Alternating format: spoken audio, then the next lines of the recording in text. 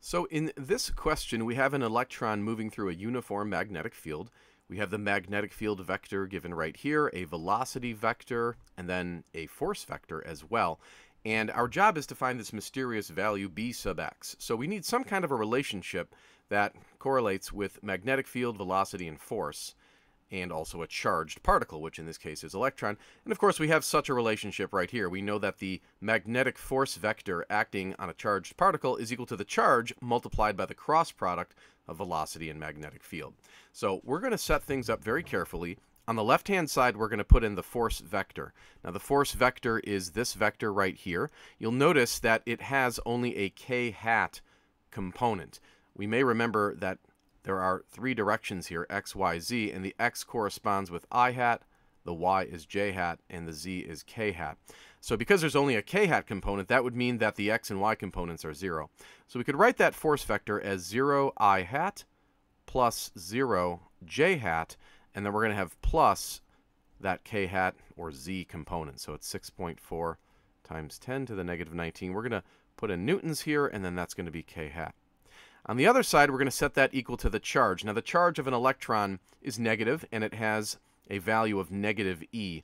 e is a fundamental constant. It's 1.6 times 10 to the negative 19th. We'll be plugging that in shortly. But now we're going to multiply that by the cross product of velocity and magnetic field. So we're going to set up our cross product using this sort of standard notation.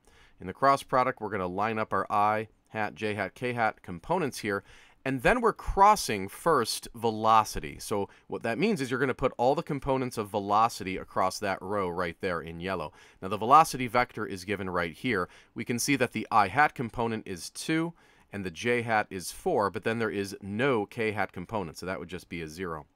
And then the next thing we're going to put into our little cross product template is the magnetic field vector. Now that magnetic field vector is given right here. We can see that the i hat component is that mysterious b sub x. So we're going to put in b sub x right here. The j hat is 3b sub x.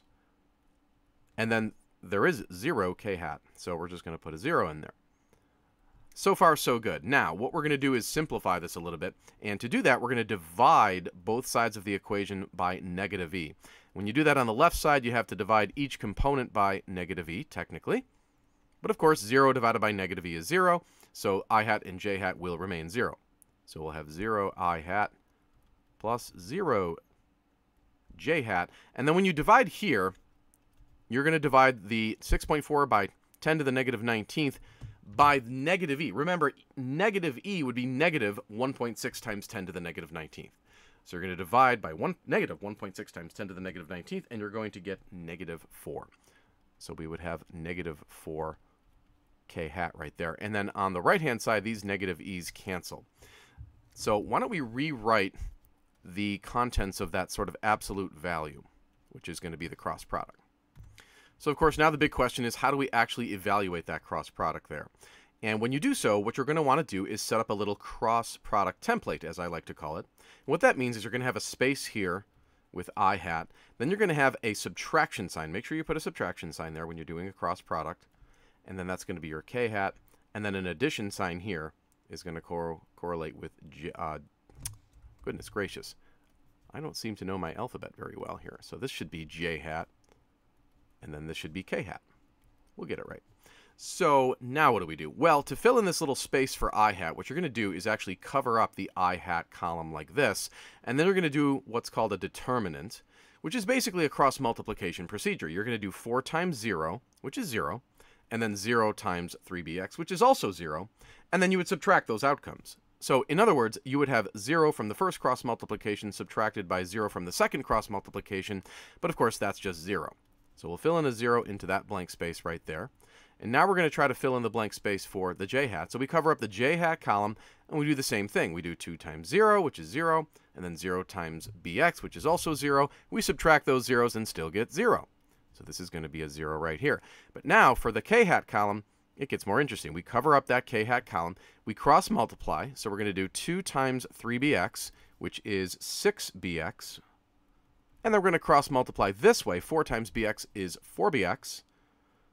It's a little crowded here, but hopefully you can see that. And then you subtract those outcomes. So you subtract 6bx and 4bx, and you get 2bx.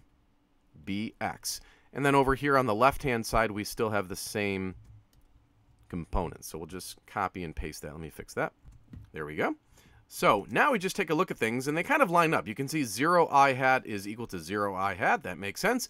0 j hat is equal to 0 j hat. Again, that should make sense. But now we take the k hat components on each side and we set them equal to each other. So we set negative 4 equal to the 2 bx. This should read bx over here. And now it's easy, right? We just divide both sides by 2, and we can see that the value of bx is equal to negative 2. That was the correct answer to the question.